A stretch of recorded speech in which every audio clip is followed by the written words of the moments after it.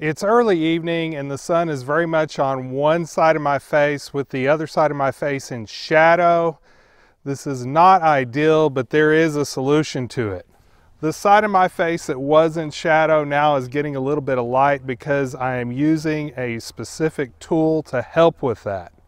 This is a clamshell reflector from eMart. I'm going to talk about it and show you the assembly coming up on Thrifty AV.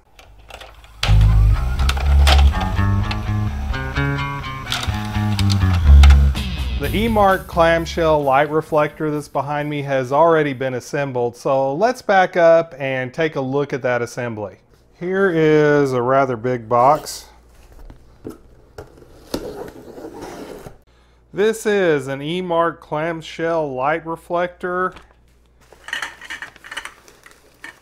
Has pieces in this bag here. Let's see what we got here.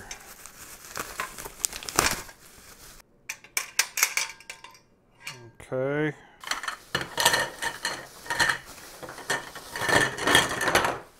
These look like they might snap into each other. That's obviously the reflector. And this has Velcro on it. This may be a different type of reflector. Connect the ends of the two and three curved rod so some of these rods have these little snaps on both sides and some of them have a, a hole on one side and this plastic piece plugged into the other side that it's just a matter of snapping it in like so. And now I have one long curved piece here. Do the same for this other one. Put the mounted curved rod in the reflector cloth and there's a place to insert this. It does tend to hang a little bit where these buttons are. Also, you kind of got to push it through right there in the middle of the reflector. Now I'm going to do it on the bottom. Install and tighten the support rods one at both ends. Okay, this support rod goes through this sleeve here.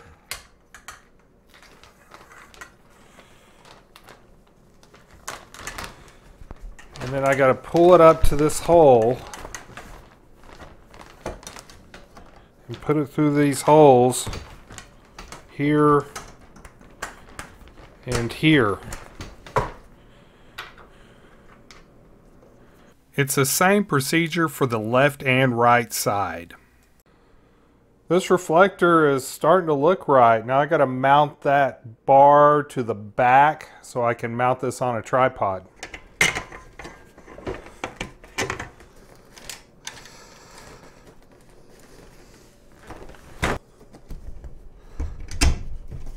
Connect the crossbar to the light stand.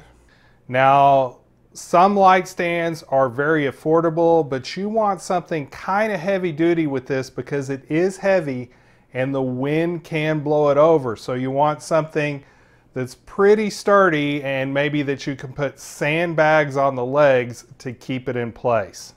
eMart has added a listing for a version of this product with a tripod stand. I will include an Amazon affiliate link for both versions in the description.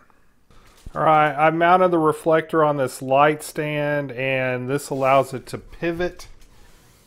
And of course you can raise and lower the light stand for the reflector.